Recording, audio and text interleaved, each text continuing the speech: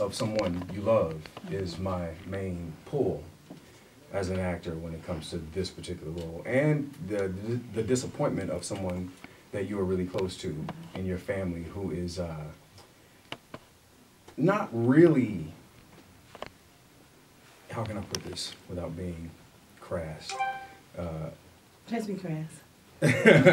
not, not really respecting our partnership and putting that first. So I think I answered your question. Yes. Right. All right. So what has it been like working with with Toya Luckett, who's playing your wife Tracy? She is uh, fantastic. You know, I know that's so cliche for actors, like, oh, she's great, he's great, whatever. But the truth is, she is uh, professional, and I mean, she's been doing this for a very long time, and she's fantastic, beautiful, prepared. That's all you need. Now, speaking of preparation, how did you prepare for the role? I've been preparing to play a cop for my entire life. Uh, I, the irony of this is I just gotten a gun at home in LA two days before I got this offer. Oh, wow. to play. And I was around the house. This is gonna sound weird, but I was around the house, you know, ducking behind, ducking behind my walls and stuff, playing with my dogs. Um, you know, while the gun was empty, obviously, but uh, playing around with my. And then two days later, I was like, "Wow, God, this thing really does work. You can manifest something out of out of nowhere." so I've been preparing for it for my entire life because it's something that I've always wanted to do. I respect our, you know, our service people and police officers uh, for what they do to put your life on the line every single day, sacrifice your individual family um, to help other people that are in need is probably the greatest gift that uh, someone could possibly give. I feel bad that there's so much happening with cops in our society in today's time because what they do at its core is uh, protect and serve. And that's a job that is not for everybody. So it takes a special person to actually fulfill that. So it's something that I've wanted to play and never had the courage to actually do my entire life. So, Leo, what has that transition like been for your from your character on the game Mhm. to a thriller like this one now? What has that been like? You know what? Um, honestly, for me, my character on the he, you know he died with the show. Um, I I played that character for ten years, and it was more than long enough to get everything. I felt like I squoze everything I could out of him, from you know a cancellation to a resurgence. I think we really milked that cow as much as possible. So. Um, the transition to film, I will tell you, is something that I marvel at because it's such a, a patient uh, process. It's way more patient than TV. And to learn, like, we're shooting like six pages a day, I'm like, I can shoot six pages in my sleep. You know what I mean? Because I'm used to doing maybe 20 or 30 pages a day at times. So uh, this is a really patient uh, and, and more forgiving in ways but unforgiving uh, on screen because you don't get another chance to do it after it's done, like in TV. So, Which do you like more? Most people say they like television more because there's more money in it, but well, for that reason, then, yeah. yeah. But for as far as the craftsmanship, which do you prefer? As an actor, I think that film is, as I was saying, it's it's a far more patient medium when it comes to uh, the process of of acting. You can really dig in. Um, a little bit more, and there's not so much of a, a time crunch as much as it, as it is on television. Um, so for me, it feels good to not get back into the race and do something that keeps me racing. You know what I mean? Yeah. So, what about going from the comedy to a thriller? How does that feel? Uh, going from a comedy to a thriller. Let me think about that. Our show was quite dramatic at times. Um, so towards the end, I felt like we, uh, I felt like we needed more comedy. Okay. You know, so it was almost like it was just a drama at times, like a half hour drama. Right. So, doing a drama uh, after the game, it feels like uh, it feels like I'm doing something that I kind of always wanted to do in a way. Okay. Dramas. You know. Because you're so particular about the type of roles that you would accept, how far into reading the script did you know, like, okay, I'm doing this? Uh, this uh, was something that I'd taken a break from acting for a while, for a couple of years, because I went back to school, to film school, uh, after being on the game for such a long time, from I think 24 to 34.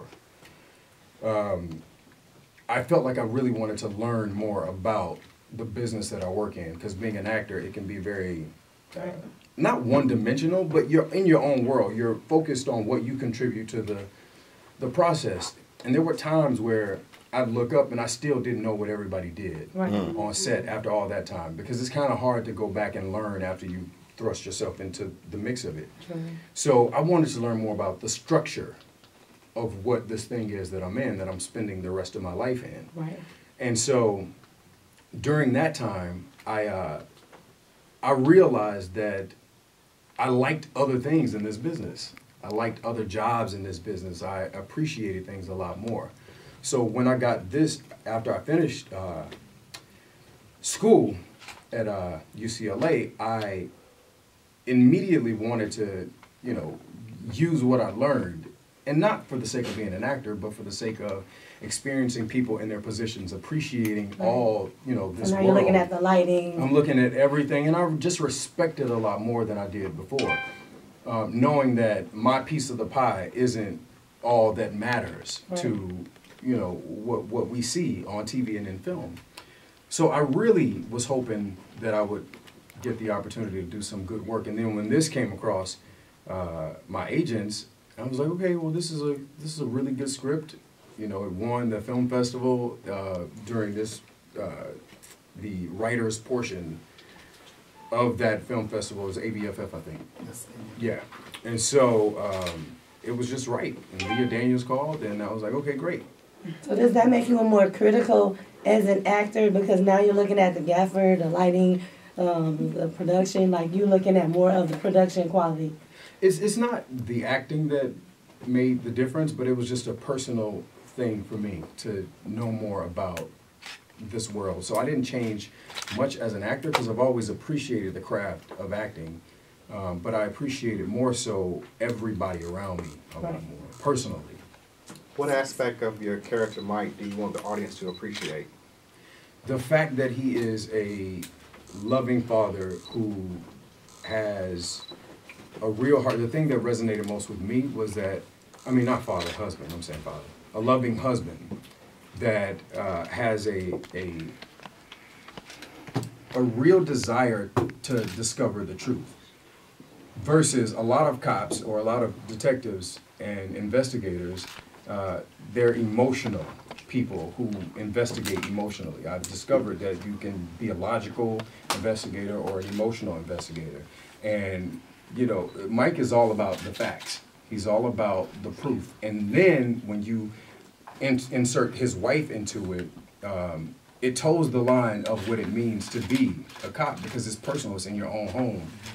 And um, so I would like for people to take away the fact that his uh, skill set is, uh, it, it trumps his relationships in a way or his emotion in a way. He's concerned about the facts and that's it. If you weren't on screen um, acting, what would be the other role that you would want to do? Directing. That is the next thing that I will do. It's, Directing. it's the plan. Um, Because because you played a football player for a long time and you've expressed your admiration for the cops, what would be your take on what's happening on the field? Oh, you know, I really try to respect anybody's um, peaceful protesting. And, and I'm one that believes just for humanity within itself, if you aren't doing anything to hurt anybody else, then you should have the right to express yourself however you choose. Times are not just changing, you know, in the in the climate of us personally and injustices and on the field, but times are changing, you know, we have people who are transitioning to, you know, different sex and you know, it's it's so much change that's happening in today's time that I believe humanity who was actually talking about this earlier, I believe humanity's one of our purposes as humanity is to further accept who God created us as, as individuals. And I believe it goes back to that. You know, any injustice um, in today's time, whether it be on the job. You know, we see a lot of things happening with people, you know, sexually inappropriate acts happening on jobs and things. I think all these things now are being revealed so we can heal as a society and as humanity. So I think it's a great thing that people use their job and their voice to peacefully protest about something that they feel is not right about humanity. All right, guys, I'm so sorry. He's got to get back to set.